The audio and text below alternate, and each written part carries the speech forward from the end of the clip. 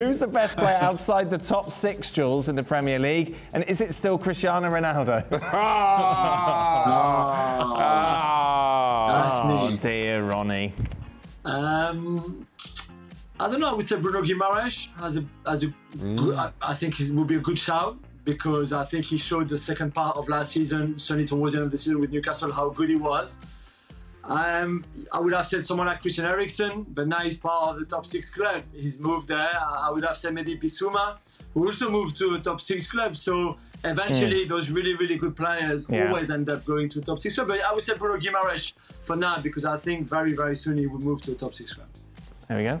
Mm. I'll say Declan Rice. So what, what about English. Newcastle? Eventually top six. What, is, what does Jules mean by very soon Bruno Guimaraes will move to a top six club? Well, and Newcastle finishing top. You didn't have them in their top six this season. Yes, exactly. In your predictions. So, so don't your... start going on your eye horse. I didn't want to jinx them. That's all. Pretending you're a big Newcastle fan. I didn't want to jinx them. That's all. Jack, let's be honest. You didn't even remember that you put together a top six list. I was thinking about who the hell was about top six. Okay, I remember. Let's go.